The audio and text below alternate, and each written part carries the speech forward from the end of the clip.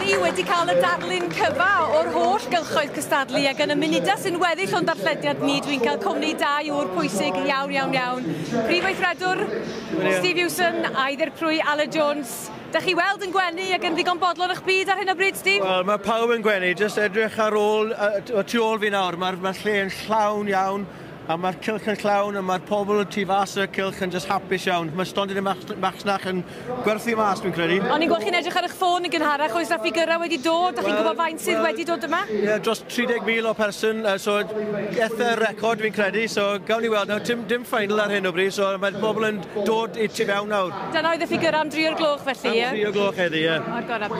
Rwan ta, Aled, wrth edrych yn ôl ar y flwyddyn yma i'r gymdeithas, sut ydych chi'n pwyso ag mesur pethau? Wel, mae'n rhywun blwyddyn hynod o frysur Llafur, wrth gwrs, mae yna tri prif digwyddiad gyda ni o'r Wylwanwyn, y sioe a'r ffair, ond yn, yn ychwanegol e hynny, dyn ni'n safle hynod o bwysig ac yn brysur nifer fawr y ddigwyddiadau allanol gan gynnwys un o fel rhai profil uchel iawn tu hwnt fel Tôr y Britain ôl y mis Medi. A mae'n rili really wedi codi profil faes y sioe a canolbarth Cymru am fan i wneud busnes, so wych ni yn hapus iawn. Felly, os ydych yn ta, achos da chi'n gorfod symud ymlaen, dydych chi fedrwch chi ddim aros yn llonydd? Ie, yeah, mae'n bwysig i arall cyfeirio fel ffermwyr i o fod yn onest, a mae'n gret i gael y cyfle na i codi'r profil ar maes y sioe. Dyn ni wella cyfathrebu gyda'r mast 4G nawr, a mae signal yn gweithio, chi'n gallu ffono mam o'r maes y sioe yn ystod y sioe.